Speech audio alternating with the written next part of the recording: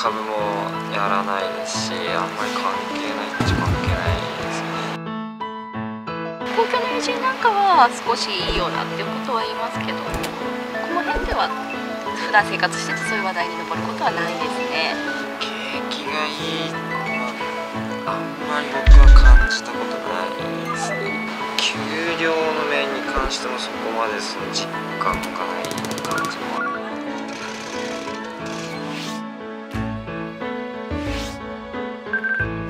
格差は出てますね。ただ今の年金者とね低所得者要は300万以下この人たちが大変なんですよ。物が上がるんですけど所得は増えないでしょちゃんとその消費税上げた時にきっちりそれはその福祉であるとかそういうとこに回すためだっていうのが確かあの条件だったと思うのでであればちゃんと回してもらってそういうこう弱対してのしこうサポートを徹底するっていうことはしてもらいたいと思います。あ私ですか？一緒してます